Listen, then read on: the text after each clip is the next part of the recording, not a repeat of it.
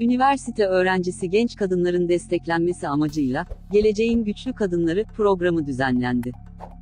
Düzenlenen gecede, ilham veren, kadınların tasarımları açık artırmada Cem Yılmaz tarafından satıldı. Esprileri ve konuşmalarıyla geceye damga vuran Yılmaz, Hazal Kaya'yı eleştiren Ahmet Hakan'a ve kameramana tokat atan Muharrem Sarıkaya'ya, gönderme yapmayı ihmal etmedi. Yaptığı esprilerle herkesi güldüren Cem Yılmaz, sahnede mikrofon konusunda kendisine yardımcı olan çalışana, vuruyormuş gibi yaparak kameramana tokat atan Muharrem Sarıkaya'ya gönderme yaptı.